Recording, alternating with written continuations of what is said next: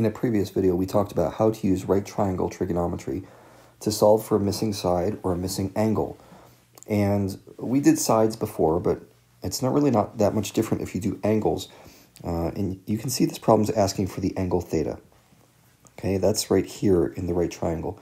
And what it gives us is two of the sides, 6.44 and 7.79, right over there. And what I want you to do, whenever you're looking at a triangle, think about what's opposite, what's adjacent, what's hypotenuse, okay?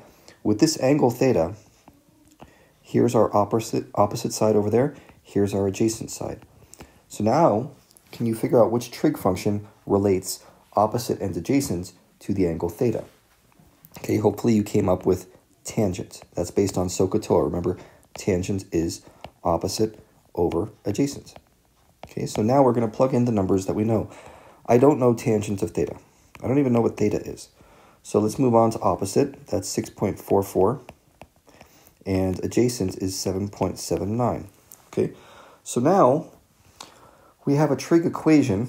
It's really not a complicated one, but I don't want you to go ahead and do the 6.44 over 7.79 yet. Okay, what I want you to do is consider doing something to both sides that will get rid of the tangent. Okay, I just want theta by itself. I want to know what the angle is. Now, some people come up with this idea. They'll say, okay, well, I need to get rid of tangent, so I'm going to divide both sides by tangent. Okay, that's, that's not what we're talking about. Remember, when I say tangent of an angle, I'm not talking about tangent times an angle. I'm talking about a function. And the only way you can undo a function is to take the inverse of it, like this. Okay, so we're going to have the inverse tangent of tangent of theta. That's going to be on the left. And then on the right side, you get the inverse tangent of, and we put the right side of our former equation in here, 6.44 divided by 7.79. So look what pops out. Those tangents are going to cancel out. The inverse tangent of tangent, right? Those cross out, and we get this as our final equation. Theta equals the inverse tangent of 6.44 over 7.79. Okay?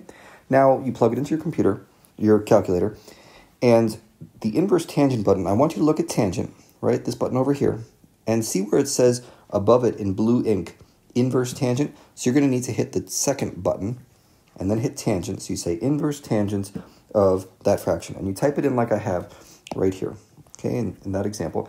And you can see what pops out is 39.580 uh, you know, dot, dot, dot, dot, dot, all these decimals.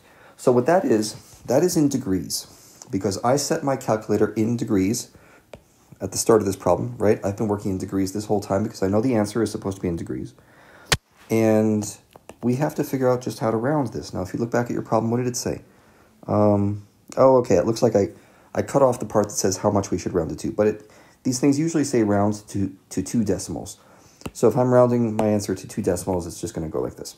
Okay, so we put in 39.58. You don't worry about the degree symbol either. So just say 39.58, and you got this one done.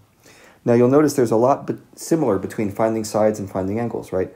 The only difference is do you do an inverse tangent or a regular tangent? So that's that's kind of it. If you're finding angles, you're going to do inverse trig. If you're finding sides, you're just going to do regular trig buttons like sine, cosine, tangent.